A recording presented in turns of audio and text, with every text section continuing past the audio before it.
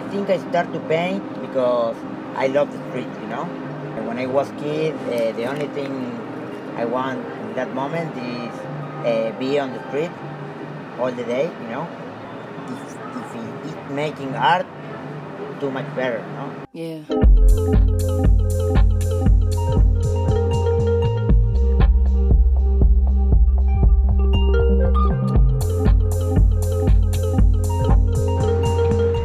Trying to make a dialogue with the environment, with the uh, architecture, uh, with the cities, uh, with colors and shapes. Yeah, it's all about composition for me.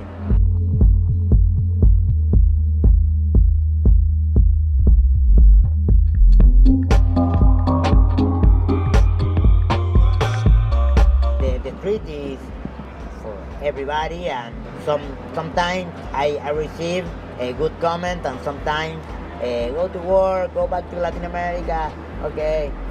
Yeah and that is the, the, the most beautiful thing. I, I'm, I'm not a, a god or something. I'm, I, I'm a, a little artist from latin america trying to, to, to discover the world.